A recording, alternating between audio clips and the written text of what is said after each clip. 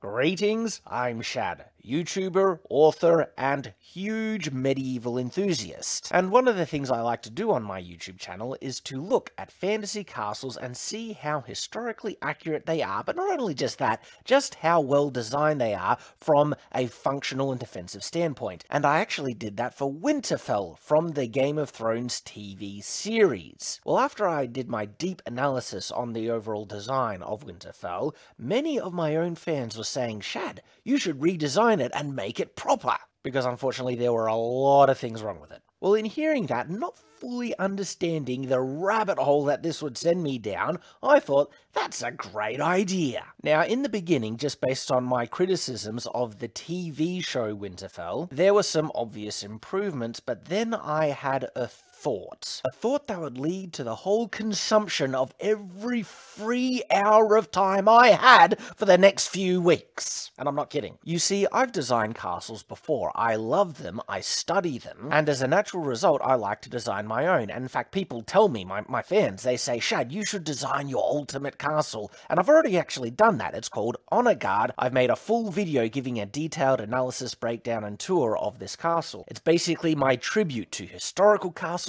and fantasy castles, because it does have fantasy elements in its design. And through this process, I have become quite adept at using a very basic but user-friendly 3D modeling software called SketchUp. This is the program that I design all my castles in, but not only castle swords and everything like that. So I actually have the skill set to redesign Winterfell into the best state it possibly could be in historically accurate to the castle-like elements that actually go into an overall castle's design, but also be true to the source material. And the thought was this, if I'm going to improve the Winterfell design, why not make it more accurate to how Winterfell is depicted in the books, especially if the depiction of the books is just a better designed castle from the get-go. So instead of just improving the TV Winterfell, no, I decided I'm going to use the book Winterfell as my basis. And just on cursory glance, it really did seem like the book Winterfell was way better designed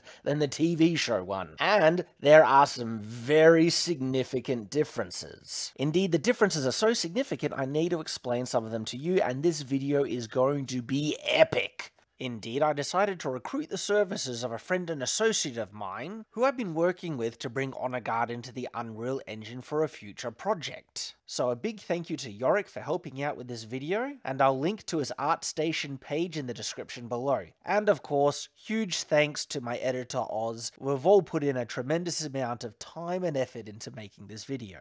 This video is going to be one of the most polished, most detailed, and requiring more man hours than any video I have done to date. I'm really excited for it and I can't wait to show you how this design turned out. Yet before we get there, there are some very important things I want to go over first. It's really important to understand the differences between the TV show Winterfell and the book Winterfell, so I'm going to explain some of those differences so we have a good point of reference. Then I want to share with you what makes Winterfell's design uniquely different compared to real castles, because there are some, like Winterfell is a monster, and not only that, the Game of Thrones castles are just insane. And then after I build those foundations and we have a good point of reference, I'm going to reveal what the true Winterfell looks like, and oh my goodness, it's amazing! And after that, I'll be sharing with you some of the additional design choices I made for the layout for some of the buildings, and a breakdown of all the iconic buildings mentioned in the books, and a tour of the layout so you can truly see that this is Winterfell. One of the main differences between the TV show Winterfell and the book Winterfell is size, and I'm not like, wow, the, the sizes are so different. And honestly, it was a little tricky for me to get a good baseline to figure out how big Winterfell actually is, because when looking to the uh, official wiki, which has a great breakdown of the castle with quotes from the books where the design and information is directly sourced. There wasn't any direct reference to the size of Winterfell's full footprint, but there was a reference to the size of the Godswood. And on that wiki, there is actually a layout design for what Winterfell should look like according to the books, according to whoever made this basic image, and I actually disagree with a decent amount of it. Some of the design elements are not very good in regards to overall castle design. The size of the buildings are completely skewed, especially if you're going off the scale that this image gives, but it's certainly a respectable effort, absolutely. The Godswood, as described in the books, is said to be three acres in size. Just, just think about that. Three acres, okay? So just trying to get a size comparison from the pictures, because we don't have anything to, to directly scale TV Winterfell from, Godswood, as shown on TV Winterfell, should actually be about twice as big as what you see there. Now, the great thing about SketchUp, it's actually a CAD program. You can design everything to exact scale. And so just working out some very basic math, a circle with a diameter of around 126 meters gives us a very close footprint of three acres. The math was annoying to figure that out, but correct me if I'm wrong, but pretty, like, I'm very certain after double checking it, this is about three acres. The thing is, though, according to the books, the Godswood is said to be inside Winterfell. The ancient godswood of Winterfell has stood untouched for tens of thousands of years, with three acres of old, packed earth and close together trees creating a dense canopy, which the castle was raised around. That means the godswood is inside the walls of Winterfell, not placed separate to it inside. Now, I completely understand why the people who made the TV show put the Godswood off to the side because putting such a. And their Godswood is only half the size of what it should be, right? But even putting that inside the walls of Winterfell would by necessity have to expand the outer walls that encircles the whole thing just so you have enough room for all the buildings. And perhaps then Winterfell would have been too big for them, but this is how big Winterfell should be. And I'm not going to cut any corners. So that is exactly what I did to get a rough kind of uh, baseline for how big the overall Winterfell footprint should be. And it's huge, okay? And the circles you see here isn't the shape that I ultimately went for Winterfell. I think Winterfell would have a more natural kind of shape in regards to the angle of its outer walls that would follow the land in which it was built on. It's not going to be perfectly symmetrical. But this gives me something to work on. I can compare the sizes of the shapes and make sure that they conform to about roughly the correct dimensions. To give you a baseline, here is Honor Guard, the castle I designed. And in regard to the sizes of standard historical castles, Honor Guard is a monster. There are other historical castles that come into about similar sizes, and other castles that have much larger footprints, but those are actually the exceptions. And if you want a detailed breakdown, watch my Honor Guard video. But Honor Guard, in comparison to most historical castles, like I said, is huge. Now let's compare Honor Guard's footprint to the footprint size that Winterfell will have. Do you see the size difference? And don't get confused by this outer square of Honor Guard because that's not honor guard's footprint. The footprint is right here, and that's about the size of just the Godswood. I grab the Godswood and bring it around. Yeah, the Godswood is actually bigger in its footprint than all of honor guard. So Winterfell, just by comparison, is a monster of a castle, but it's not the only one. Winterfell, in regards to the castles in Game of Thrones, is rather conservative. Riverrun, Casterly Rock, and of course Harrenhal, which is mostly destroyed, but Harrenhal in its heyday are in way bigger than Winterfell, uh, just by the descriptions. And personally, I love this feature of Game of Thrones, and I feel it's missing from the TV shows because the castles in the TV shows do not come nearly close to capturing the insane epicness of these monster castles in Game of Thrones. This is like a feature of this fantasy setting. The castles are monstrous in size. The next big difference between the TV show Winterfell and Book Winterfell are the size of the walls. Book Winterfell gives us a size that is very specific. According to the wiki of Ice and Fire, Winterfell is a huge castle complex spanning several acres. Well, we've got that so far. Defended by two massive walls of grey granite, with a wide moat between them. The outer wall is 80 feet high, while the inner wall is 100 feet high, with a wide moat between them. Okay, okay. So already that sounds really impressive. 80 feet and 100 feet.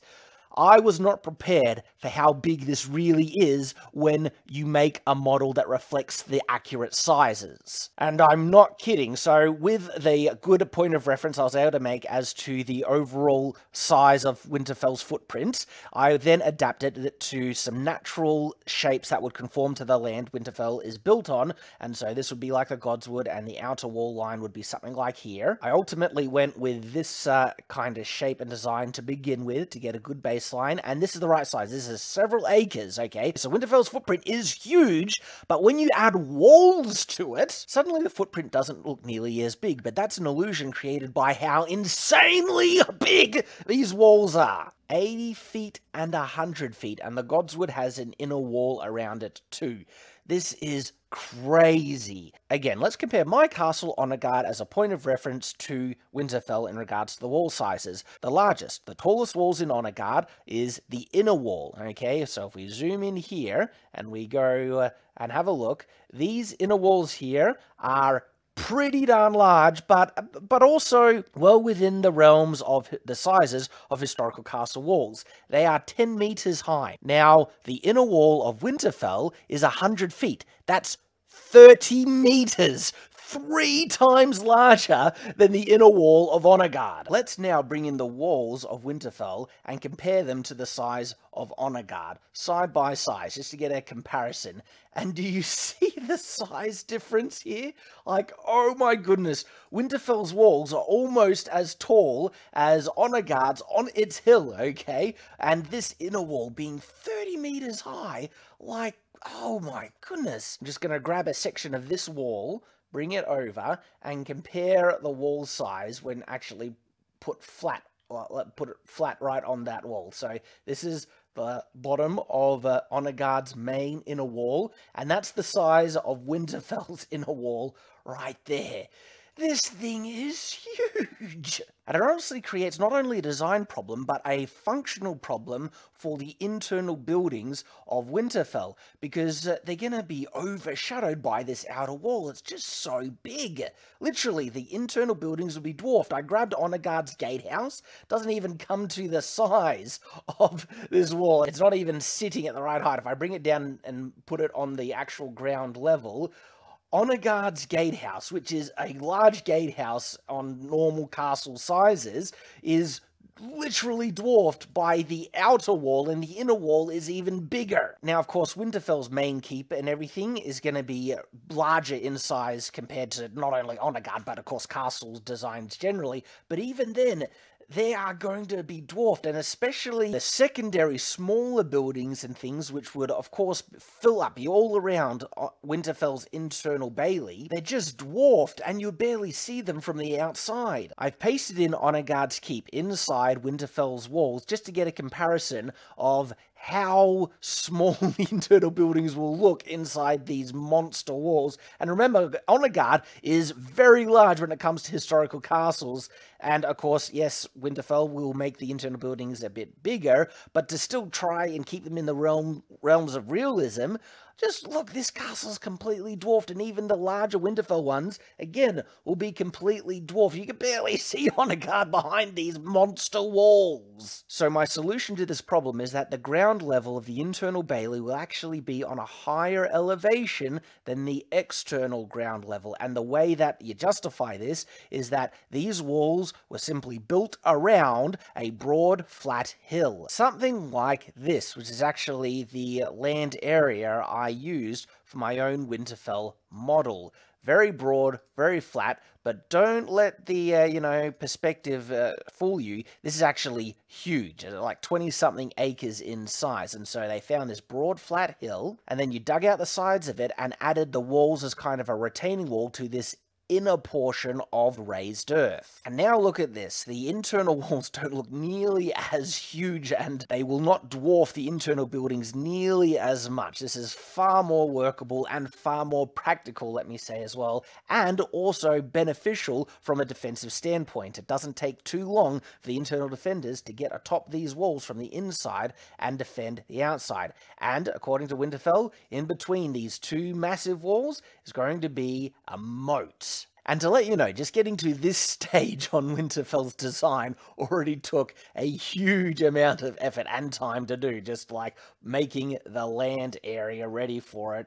This is the internal geometry of this land area. So, uh, look, it was fun as well, especially when you're working towards an exact kind of result. But to get the contour and the the hills and everything, because Winterfell is actually said to have hills, like the like the internal land was not flattened inside Winterfell. There are internal hills inside the walls. Okay, and so this is actually very accurate to uh, Winterfell's internal bailey. You will notice when I give the big reveal as to finish the design, the Godswood doesn't stay in this location. I do need to push it off to the side a bit to make room for the main central keep, but also the old keep and all the other important buildings that are supposed to fit inside Winterfell's walls. So already the book Winterfell is quite different to the TV show Winterfell. Not only in size, the size is a huge difference, the layout, meaning the Godswood needs to be inside, and the fact that there are two external walls instead of one line of walls, and the walls are just so big according to the books. The next divergence in my design comes to the overall aesthetics, such as the design of the crenellations, the corbels, the machicolations, the shape of the towers, and the angle of the roofs. Well, in regards to Winterfell, there are a couple of things that actually told me what it should be. Not my own choice, I was informed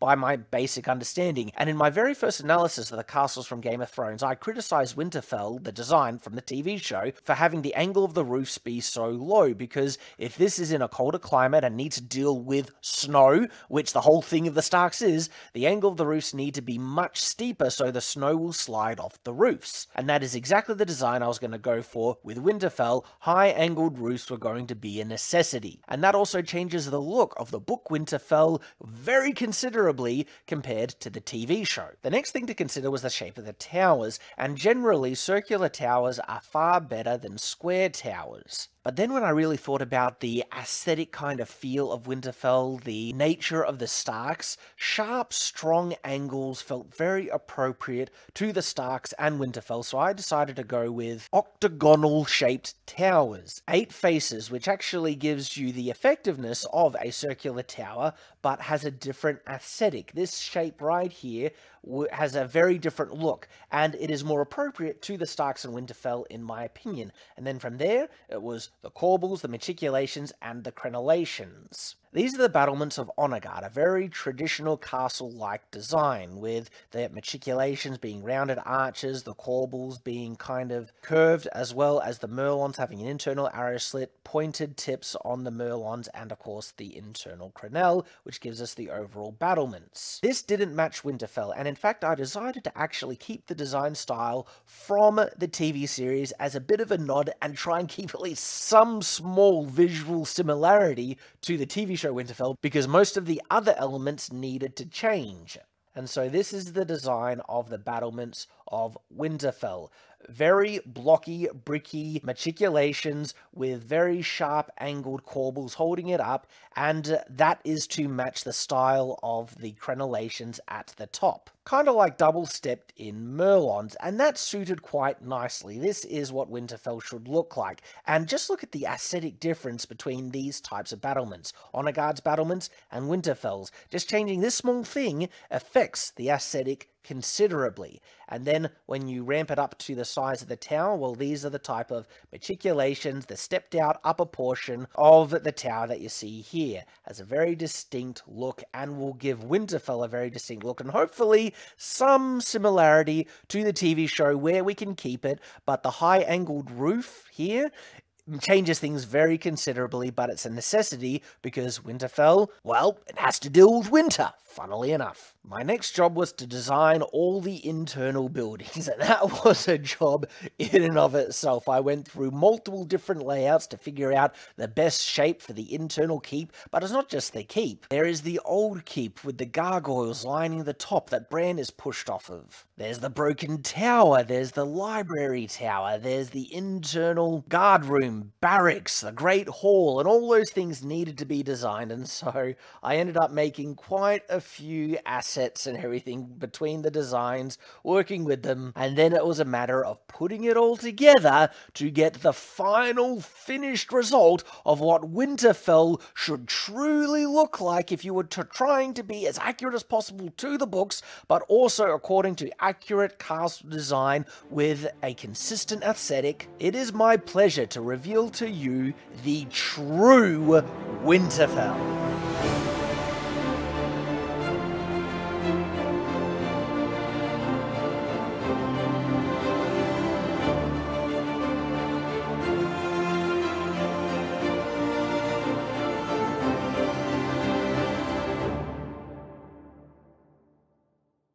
So I have to tell you guys, I am really pleased with the result. This is probably my finest work I've ever done in SketchUp and the most impressive castle I've ever modeled. It took over 100 hours to make and I tell you I made it as accurate as I could to the descriptions according to the wiki which come from the books of A Song of Ice and Fire. There are some small concessions I had to make and some even additions I put in to just fill it out properly, but overall this is like 95% accurate to the books and might even be fully accurate because I think some descriptions were vague and it was hard to determine exactly where something needed to go as a comparison to what. Also, to let everyone know, I've uploaded the SketchUp version of this model onto the SketchUp warehouse where anyone can download it for free and have a close look, play around. And honestly, if you want to repurpose the assets and use it in whatever projects you want, if you want to model the inside of these buildings, be my guest. I release this as a free resource to the internet. It is my pleasure to give it to you. And not only that, separate to this completed model, I've also uploaded the assets all these different kind of build assets of Winterfell onto the SketchUp warehouse. You can download the free version of SketchUp, it's called SketchUp Make, and then just sign up to the warehouse, download it directly into SketchUp, and then play around, have fun. You can then export this whole model as a Collada DAE file and import it into other 3D modeling software like Blender or the Unreal Engine, and do whatever you want with it. To give us a full point of reference as to the sheer magnitude of Winterfell, have a look at it side by side with Honor Guard. It is a monster. The central keep itself is about the size of Honor Guard and its mountain together. It is just crazy when you go up to have a look at the footprint.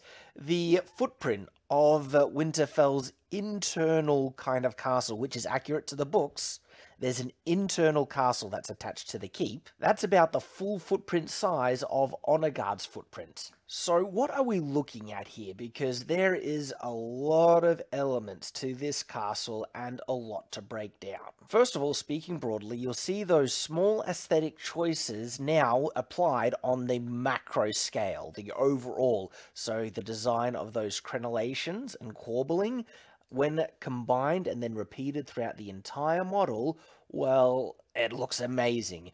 High angled roofs. Now, something you'll also notice, because I do point this out generally as a criticism on other castles, is that the roofs on these castles are stone. They aren't wood. The only way you can achieve this is if the underside of these stone roofs have a vaulted ceiling, and that is exactly what's happened here, because Winterfell needs to be made to handle huge amounts of snow.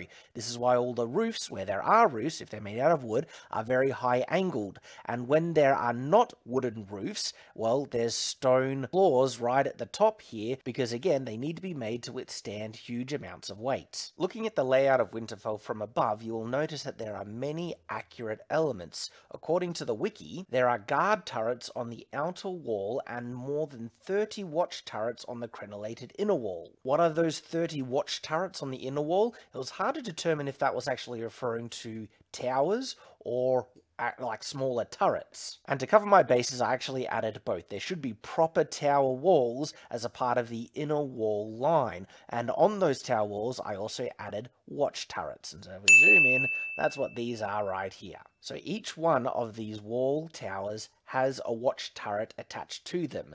And It says there is more than 30. Well, on this model, there is exactly 31. We have the wide moat in between the two outer walls, and you will notice that I placed the Godswood off to the side a bit. This was to center the inner castle, which makes the overall silhouette of uh, Winterfell from the front just look incredible. You can actually see the divided parts of Winterfell quite well from this bird's eye view. You'll see the old keep and the old bailey, the inner castle and the main keep, also known as the Great Keep, and the internal divisions of Winterfell. There are several internal baileys or wards within the castle, specifically seven if you count the Godswood as well. I was particularly happy with the design of the outer gatehouse because there are many layers of battlements to it with ramparts and arrow loops all overlooking the main entrance to the castle. And because there are two massive walls to Winterfell, there is a secondary gatehouse behind the first one, which is connected by two drawbridges. Each one able to be raised. I mean, the defensibility of this castle is just epic. You'll notice that for this design, I decided to not do a secondary line of battlements facing the inside. There's nothing there. That means if any enemy ever takes the outer wall, they have no defensive battlements facing the opposite direction to defend themselves from people attacking them from the internal wall. Each section of wall is separated by consecutive towers, so if one part of the wall falls, they haven't taken the whole wall because then they need to battle and fight through one of these towers to just get to another part. If the entire outer wall is taken, there are collapsible wooden bridges where the defenders can retreat through to get to the secondary bigger wall and then collapse the bridge behind them so the enemy can't get access and these wooden bridges are placed at regular intervals around the walls. There are many very important iconic buildings that comprise Winterfell as a whole, so I want to point them out individually because they're all there. Everything you see here was not put there without reason or cause. You actually might be able to pick out some of the iconic buildings here if you're familiar with Game of Thrones, but I'm going to point out each one and explain why I designed it the way I did, mostly to be accurate to the books, of course. The most important building is, of course, the Great Keep. I actually went through a lot of different designs to try and find out the best and most appropriate grand keep for Winterfell.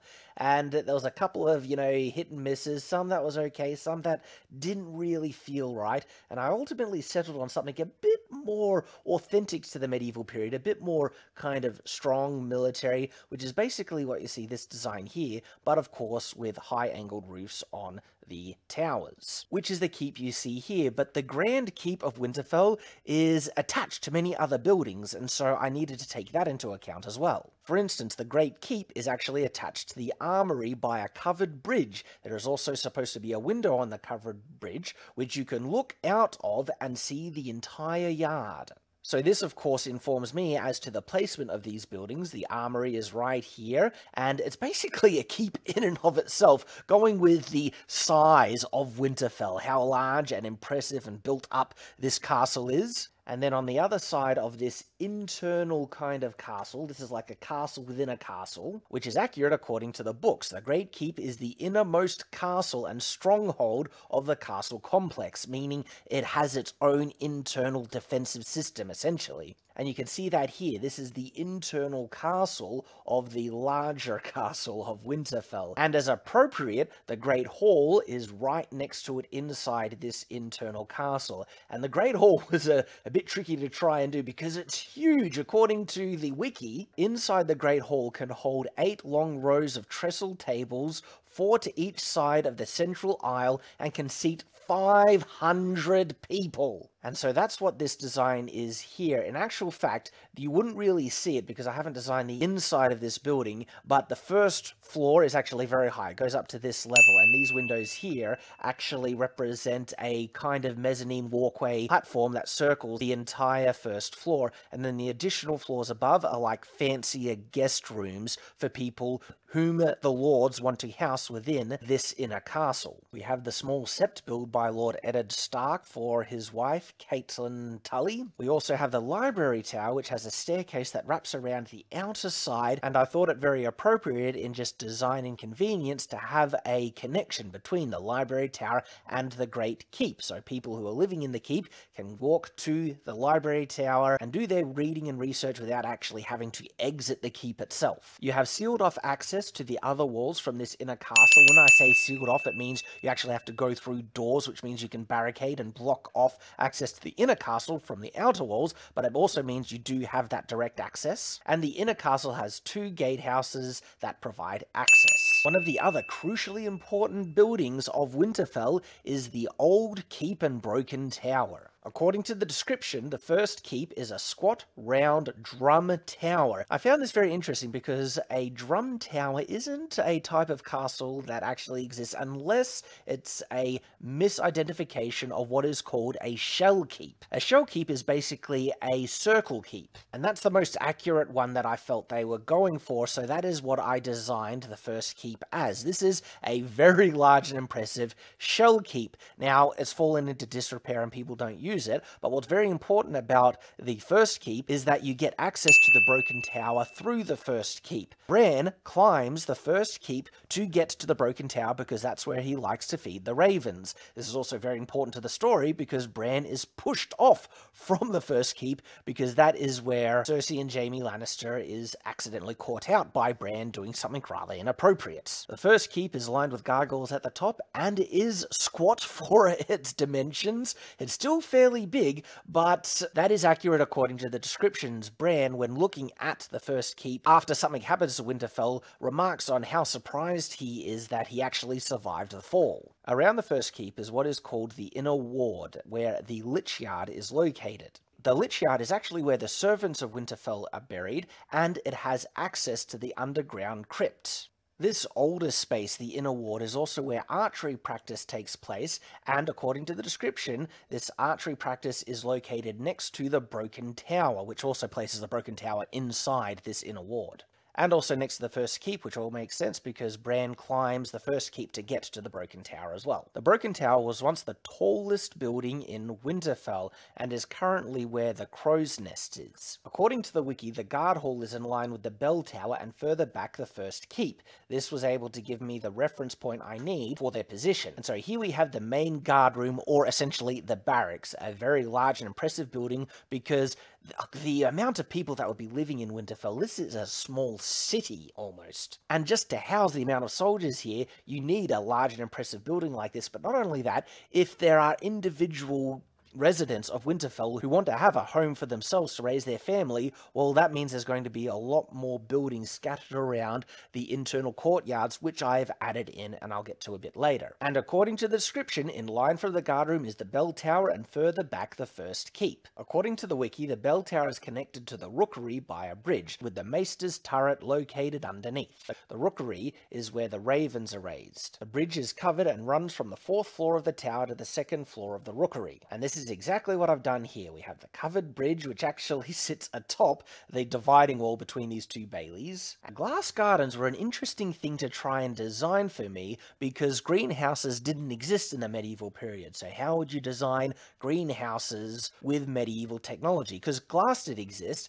and my conclusion was to use arches like we see in Gothic cathedrals. Diamond pattern medieval glass filling in between. Have the ancient weirwood in the center of the godswood overlooking a pool of black water. And then across the godswood beneath the windows of the guest house, an underground hot spring feeds three small pools. So this, of course, then gave me the position of the guest house, which I interpreted to be like a, the, the most fancy kind of inn for people who travel to Winterfell. Kind of like a country club retreat. I mean, it's right near those fancy hot springs, and explains why people might want to stay in the guest house and not the many guest rooms that would be located above the Great Hall or within the Great Keep. We have the dog kennels, which is located near the back gatehouse. The main blacksmith, a brewery where obviously Brewer Barth does his work, and many other buildings as well. But what are these additional buildings? Because even if not stated explicitly, just for the general function, daily procedure, and special events of the castle, there are some very important buildings that should be present. For instance, the granaries, okay? This is where all the food stores would be kept. And for a castle complex this massive, there's actually going to need to be several granaries just to hold everything. There'd be stores in the undercroft of the main castle itself, the Great Keep, but this castle is supporting the population of a small city. There would be thousands of people here, which means a lot of food, which means you need a lot of storage. And so we have a very large primary granary right here, one for the inner castle, and one located near the stables and horse yard of the castle, which would actually hold most of the animal feed. And this, of course, brings me to the stables and horse yard of Winterfell. We have very large stables here to house the Lord's horses, and, of course, chicken coops as well. These people are going to be eating a lot of eggs. Also very appropriate and necessary, a tilt yard or jousting arena and a market square. There's an undercover portion of the market and an open air section of the market as well. We've got a tavern and sheltered drinking area, which of course is located near the main tilt yard because whenever they have a large tournament or joust, you're going to be wanting the alcohol nearby for the festivities, and of course that is located near the primary brewery, so the alcohol doesn't have to travel too far to get to the outside tavern. There are also two greater stables that are located closer to the main entrances of the castle. This is so people visiting the castle can just house their horses there temporarily. When the lord wants his horse prepared to be called on whenever needed, the horses would be moved to these stables to be on hand, and when the other horses for the men-at-arms and the army, the soldiers, they need a place to graze and move around, and so they would be housed in the horse yards, and then for the horses that need to be called on hand and ready. They stay in these stables, and of course, there are additional guest houses and also rooms for the stable master and his family. An often overlooked element of castles is the fact that the main warmth of castles is provided by fire, and if that's the case, there needs to be ample supply of firewood. And if you're going to be storing firewood, you need it to be under shelter so it doesn't get wet. And so there are many firewood stores all throughout Winterfell. This is the largest one right here because there would be so many fireplaces in this castle. In every main guest room, they would want a fireplace to keep that room warm. And just look at how many rooms would be in this castle complex, let alone the individual buildings where people live, but just in the larger buildings as well, there would be hundreds, several hundreds in fact, fireplaces all throughout the place which would consume a massive amount of wood. And that is even in the summer because you would want a nice fireplace during the evening where it gets cooler, but winter, and we know how hellish winters can be in this world setting, and so for Winterfell specifically, they would store up firewood in every corner. So we have firewood store and shelters all throughout this castle. With so many people in the castle, there's going to be those who are more important and less important, and you need to fill their needs as well. There is one large building that I added in that isn't actually mentioned anywhere in the wiki that I was able to find, but needed to be added for visual balance and also just a little bit of additional functionality and convenience and practicality, and that is the upper servants' quarters just like there is a dedicated barracks for all the soldiers and everything, if the Great Keep itself is reserved for the higher up nobility, and considering how large the castle is overall, the higher servants, like the livery maids, the squires and everything like that, it would make sense for them to have an impressive, fortified, and kind of dedicated building for them to live in. So I added a building that I call the Servants' Keep or the Livery Keep. And this keep would be there for the higher up servants and it would be a bit of a balance to determine where they would actually want to live in a more fortified kind of fancy keep or would they want their own home, their own cottage within the walls where they can raise their entire family. And that's what many of these other buildings are. Individual dedicated homes for some very important people who live within Winterfell. I expect some of them would be used as certain storefronts to sell types of trades, like there could be a carpentry building, weaver's cottage, where does the seamstress live? A leather worker. Remember, this is basically a self-contained city, and I know there is a town outside of Winterfell called Wintertown, but do remember how large Winterfell is and how full it is of people. And so with many different people from many different walks of life, there would also be things that they would want to serve their needs. For instance, a lower level inn or tavern. They probably aren't important enough to get a drink in the guest house, but an inn and tavern that is there to serve the commoner who just travels and is passing by and needs a place to sleep, and also for the common resident, the average foot soldier who doesn't have any clout to go into the guest house or the grand keep or anything like that. Where does he get a drink? And so this is why this larger building, the inn, is located next to the guardhouse because that's where they go to have a drink every day. And of course, there are several wells throughout Winterfell, including within the main central castle. Each internal ward of Winterfell is barred off by a solid metal grate through their dividing walls. You'll notice that I didn't add any crenellations around the wall that surrounds the Godswood, and that's because that wall and the Godswood itself was never described to me as an actual defensive ward of the castle. The wall around the Godswood seems to be mainly there as a dividing line, as a separation. Here's the Godswood, here's the rest of the castle, not as an additional defensive fortification. So when taken as a whole, looking at Winterfell from a distance, this castle is truly in epic size and proportions, and the amount of soldiers that it would be able to sustain if it has enough food stores and things like that for a full-on siege would be in the thousands. If you put a man on every single square meter of wall, you could almost fit maybe 100,000 soldiers on those walls. Now that would be too much to sustain in a long period of time, but if there is ever a massive battle and you have an army that numbers in the hundreds of thousands, you could actually fit them within within Winterfell, it is big enough. It would be pretty tight, and I think you would actually run out of beds for them to sleep in, in terms of inside all the buildings, but there's a lot of buildings here, having said that, and there is enough room on the ramparts to fit all those soldiers with bows and arrows and everything. This is a castle of truly epic proportions. So what we're actually seeing here is Winterfell as it should look, not only according to the books, but according to authentic castle design design. Its design is accurate according to historical castle design, convention, and layout, but also those accuracies have been balanced against the fantasy aspects and sheer epic size of Winterfell according to the books. This is by far the largest castle I have ever modelled, but I'm so happy with how it's turned out, and I really hope you guys have enjoyed this super detailed breakdown. And of course, as always, I hope to see you again. So until that time, 没有